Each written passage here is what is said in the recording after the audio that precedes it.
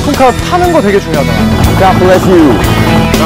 다리 길이 와, 다리 길이. 오, 야, 기가 막힌다, 지금.